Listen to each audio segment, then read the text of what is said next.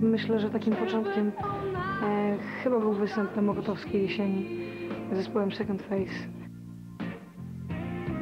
Było nieźle, było nieźle. Zespół Second Face to była świetna jazda, aczkolwiek ja chciałam czegoś więcej. E, Zrozumiałam, że jestem w stanie zrobić dla muzyki więcej niż oni. Dlatego się rozstaliśmy. Zespół Skałłokę e, zadzwonił do mnie Zbyszek Kraszewski właśnie po Mokotowskiej jesieni i zaproponował mi współpracę. E, Mój stosunek do zespołu Skywalker, tudzież do zespołu Kombi był e, powiedzmy e, no, dziwny e, co najmniej.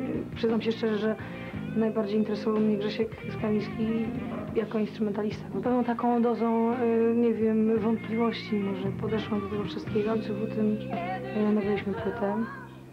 Mm, Studia Buffo, Adaś Toczko był realizatorem, było nieźle.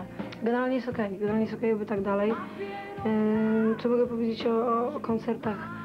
jest szał. No ja muszę się rozkręcić. Po prostu y, wydaje mi się, że jeżeli ludzie, są takie wibracje między mną a publiką, jeżeli ludzie jakoś tak reagują na to pozytywnie, to wtedy ja też bardziej szaleję. Jeżeli jest tak zwana zima wśród publiki, to y, nie staram się ich za bardzo zachwycać.